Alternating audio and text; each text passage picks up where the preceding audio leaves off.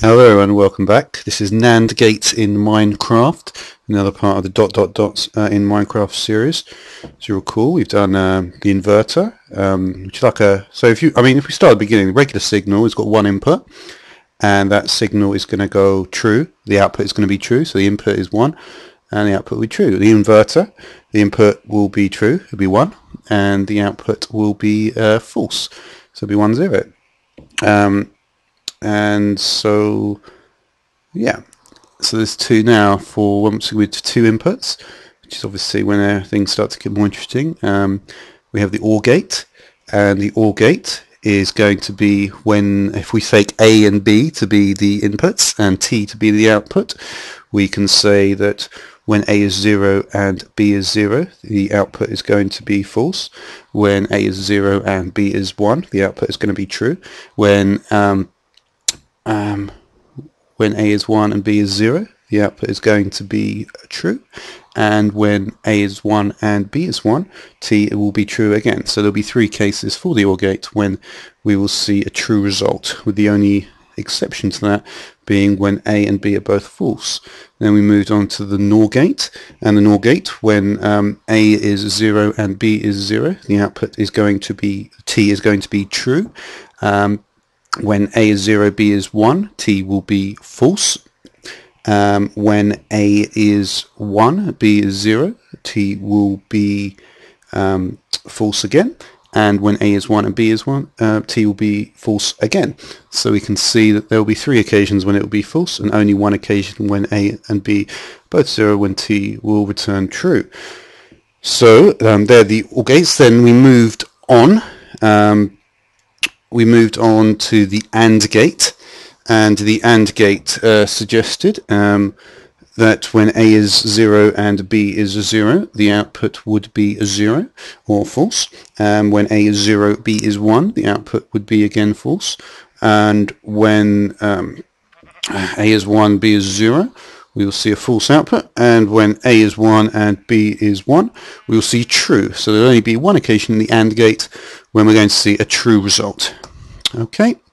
Okay, so with that in mind, let's now move on to the NAND gate. Um, let's have a look. We can put something, let's put two blocks here.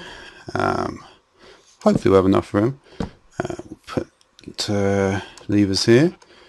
And we'll do a similar sort of thing that we did to the AND gate in the uh, last video. Um, so we'll then uh, do the redstone torch. Instead of um, instead of what we did last time, we do things slightly differently. We're going to do this and this, and then we are just going to put a door right here. Uh, I've got a door here, I think, yep. Um, okay. Um, so let's see how this is going to work.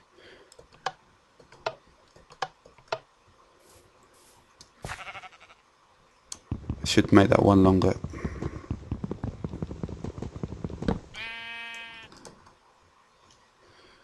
Okay.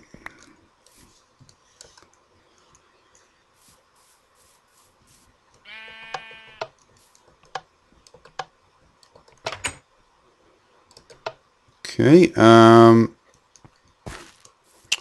so NAND, obviously by its nature, it should be on, basically, um, in all three occasions when the, uh, you know, in the first three when it's not 1-1. So there we are, it's closed at 1, 1. So where an AND would be open, it is closed.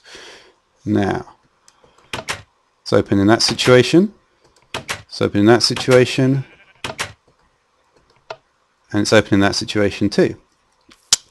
So as you can see, it's a bit like, um, you know, it's, in some ways you can see it as, as the opposite of an OR gate, I suppose, because OR is open in, in the three situations in, in 0, 1, 1, 0, and 1, 1, and this is open um, in 0, 0, 0, 1 and 1, 0. So you can sort of, you can see that opposition there. Um, and you can also see the opposition, you know, the um, the complement um, with the um, um, the AND gate itself. Um, so yeah, I'm curious though if I can put it one further back, one, one nearer. Because once once again, there's there is this issue with with uh, how it's how it's best to be placed.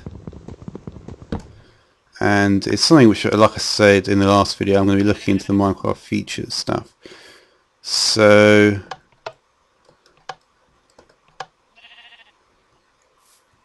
okay. So like we say it should be on in every situation apart from 1-1 it's going to close there. Yeah that's fine Doesn't seem to close there though. Oh no, sorry, it should be open there. Alright. So let me just get this straight. Naught naught open. Naught one open. One naught open. One one closed. So yeah, um, I say that is the NAND gate. Thanks for watching.